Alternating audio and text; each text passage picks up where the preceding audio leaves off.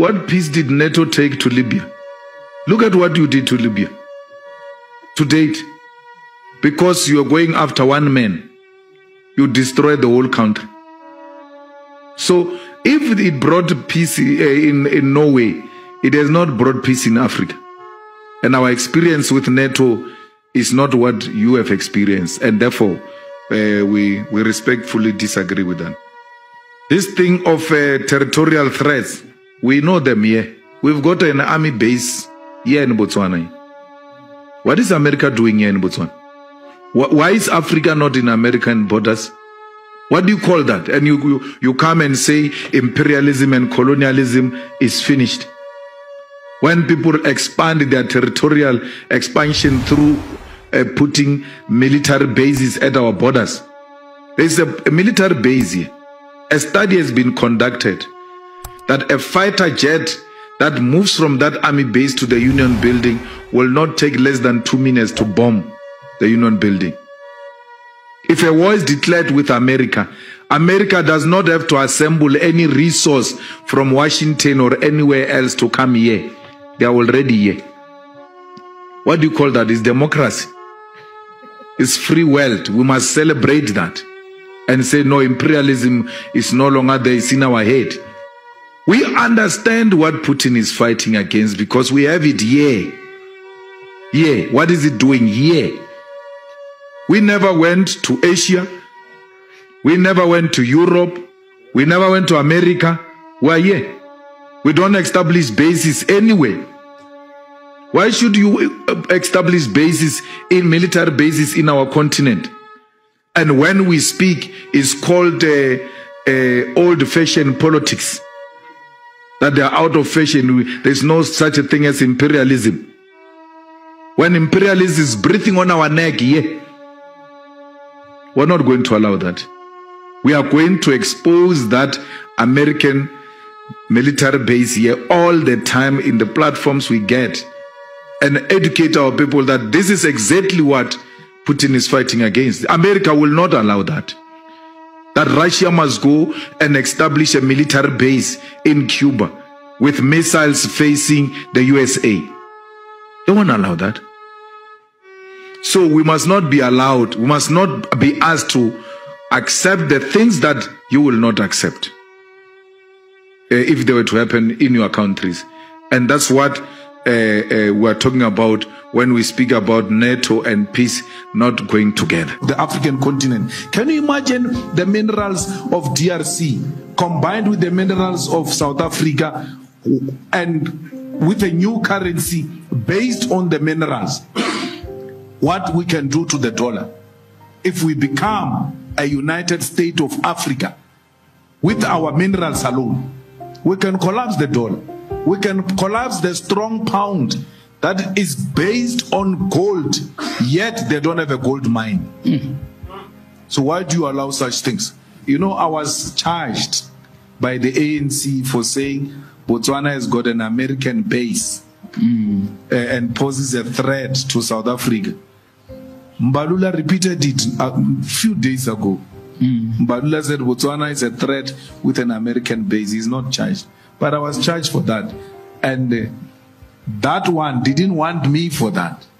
So Botswana, which is a country, let's just put the map so people can see where Botswana is. Botswana is within South African borders. Botswana is a different country from South Africa. But Botswana holds a USA military base which is not necessarily nice for South Africans that are cooperating right now with the Russians. You understand? Let's continue. Because I said we need to remove the government of Botswana through the people of Botswana and put a government that will dismantle that base, which is putting a threat on the whole of SADC. Because a research was conducted the landing strip that is there in the army base of Botswana they say it can land a fighter jet which can take less than two minutes mm. if it wants to hit the Union building. Mm. So if America says we're fighting South Africa, it doesn't have to send anything from Washington. They are here already. Mm. And that's what Putin doesn't want in Ukraine. They want to do what they did here in Botswana, in Ukraine. We allowed it. And our position as the EFF is that That army base must be removed. On a South African passport, there are two languages.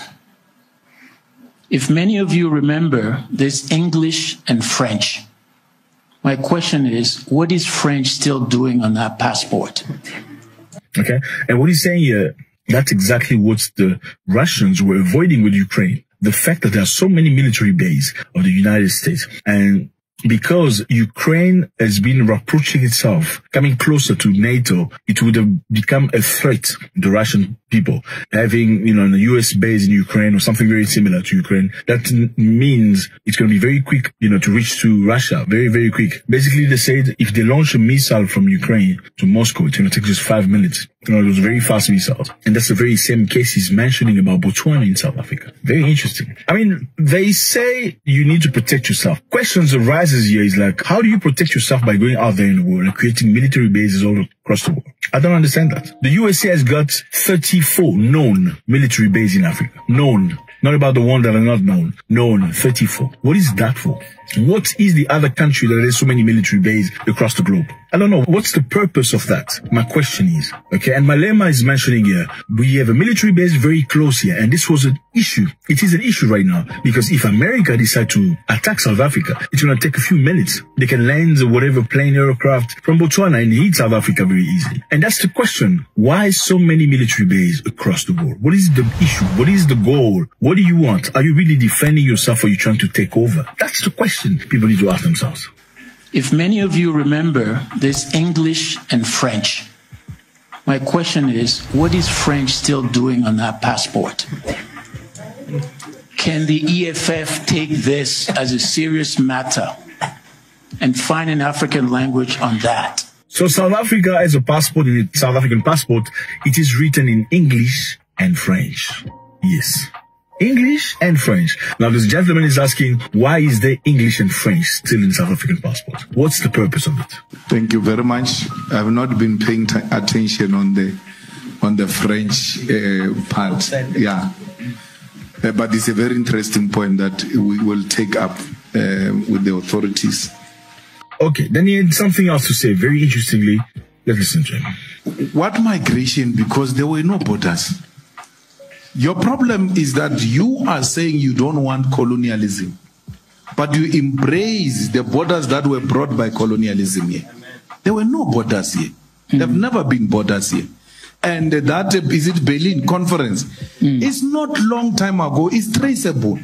The borders started then. The people will never leave their countries to your country if their economy and their government is working. Hmm. Limpopo is very poor. There is no border between Gauteng and Limpopo. But Limpopo people have not left Limpopo to come to Gauteng. Yet Gauteng has got more resources. Why can't they leave Limpopo and come here? This, if these people wanted to come here, this fence was not going to stop them. And here he's talking about foreign African nationals who try to come to South Africa and mostly Zimbabweans, you know, who try to cross and come to South Africa. They are coming to look for opportunities, and that's what we must encourage with all of you, especially the unemployed youth of South Africa. Let Africa be your playing ground. We were mm, eh, conditioned to think that we are superior and we are a country that is defined out of the continent.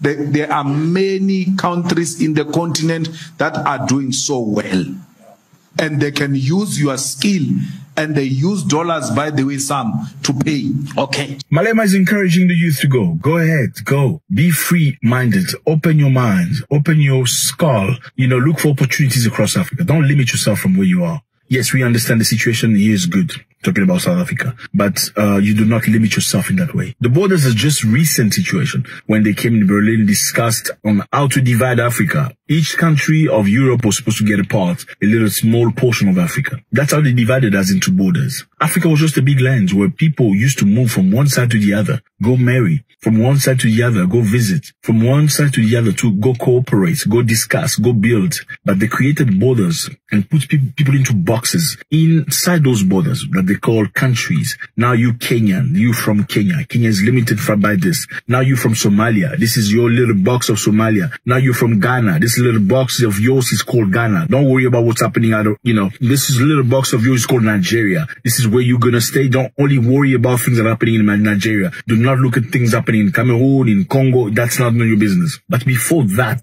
that's not how Africa lived. Africans have moved from one side to the other for centuries. Yes, they lived in peace. Sometimes they had wars between themselves, but they lived in peace. But the story of borders were created by Europeans in Berlin. And Malema's pushing people to open their minds. The bottom line is when you take an airplane, you take an aircraft and you're flying, by the time you reach your border to another country, do you see the line that divides your country to the next country? You don't. Do you see the line that represents your border from your country to the other? It doesn't exist. The borders are imaginary. They don't exist. You just say it's from here to here. There is no line that separates people. And I'm not saying they should just open the border to just everybody and the criminals and stuff. That's a question for you. But I honestly believe Julius Malema's got a good idea. The idea is this. Why are they asking us to keep the borders? In the meantime, in Europe, there's no borders. So someone from France can go to Belgium with no visa. From Belgium can go to Italy, from Italy to no visa, no issue, no problem. To Denmark, no difficulty. But they brought us borders and separation. The goal is to divide us so that they can rule. Listen. Okay. So our position didn't change. All right. I, I have no time for borders. Why?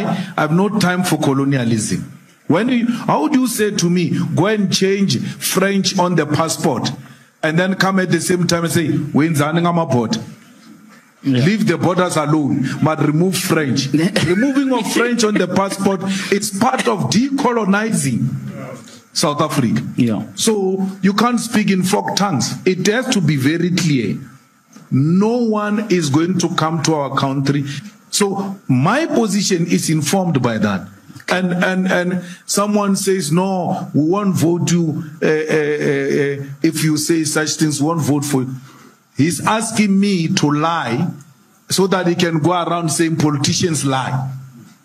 When I tell the truth, I won't vote for you. I must lie so that they can vote for me. Julius Malema is very strong. He's scared of nobody. All right. There were no borders, and we must all of us unite in that call. Yeah. Free movements of persons, free movements of goods will make this country flourish. We will even produce our own products.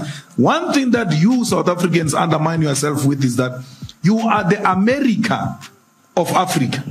If you are to produce anything here, Africa will receive it. So again, I can understand many people think they're very skeptical. They feel like opening the borders will also mean letting in not just the good people, but also the bad people. So the criminals, the drug dealers, the human traffickers, and so many other things. What do you think about it? I think in many countries, any countries you go, you're going to find good and bad people. Doesn't matter where you are from, where they are from. It's just a matter of you really looking very hard. If you look within your own community, you're going to find people that are really dangerous. Yes, you're going to find drug dealers. They are. You maybe don't pay attention to them because you focus on other people. There are drug dealers. There are human traffickers. There are many, many other things. Even if not that, are other criminals in many other areas of life. So wouldn't it be good to focus on the good people and put the negative people, regardless of their origin, in jail? So the good people gets the fruit and the bad people go to jail. But promoting unitedness, promoting unity, promoting a strong Africa. Let me know how you feel about this. Number one, tell me how you feel about the American base in Africa. Is this necessary? What's the goal of this?